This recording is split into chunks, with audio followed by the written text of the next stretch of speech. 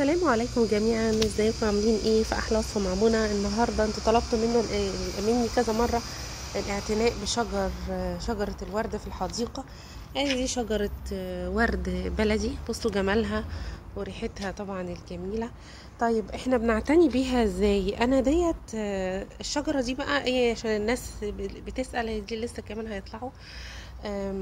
بتطلع آه، يعني دايما بتطلع مش مش اللي هي آه، بتطلع مرة وخلاص. لا عشان الناس اللي ما تعرفش خالص. لا إحنا بنعمل لها عملية تقليم بعد لما بنعمل لها عملية تقليم تقليم يعني إيه؟ يعني بقص في شهر أكتوبر كده. آه، بقص ال من ال- الجذوع بتاعتها أو الساق اللي هي اللي هي تحت ال- البراعم لحد هنا وبعدين بتطلع تاني سبحان الله إيه ورد. بتطلع تاني على الربيع وبتفضل طول الصيف تزهر والزهور تنزل وبعدين تطلع تاني وتزهر والزهور تنزل وتطلع تاني.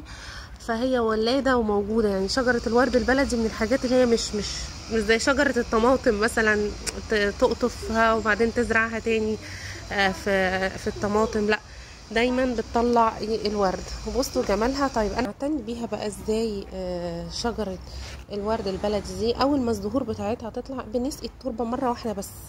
مرة واحدة بس بشوية سكر طبعا مش كتير آه، حوالي معلقة لو هي جنينة وحديقة زي كده حواليها يعني معلقة من السكر كبيرة في مية الري مع ملح الليمون. ملح الليمون آه، بيتباع عن- عند عند ال- العطار مفيش أي مشكلة. هو ده زي غذاء الورد أو بنسميه غذاء الورد. مرة واحدة بس ما, ما, ما بنعملش سقي التربة دي بالسكر وصودا الليمون. إحنا عن نفسنا يعني بنعملها إلا مرة واحدة بس. وهي تشوفوها بقى جمالها عاملة إزاي اهي.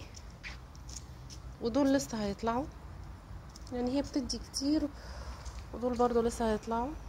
ومحدش يقلق ويقول ان هي ماتت لما الورد يطلع وبيقع تاني. هي دي عادي آه، آه، مرحلة آه، الازهار أو ان الورد يطلع اوراقه وزهوره وبعدين تقع الزهور عادي ده دايما عملية مستمرة وطبيعية جدا في الورد. إن شاء الله أشوفكم الفيديو الجاي على خير في أحلى وصفة مع منى في حفظ الله مع السلامة.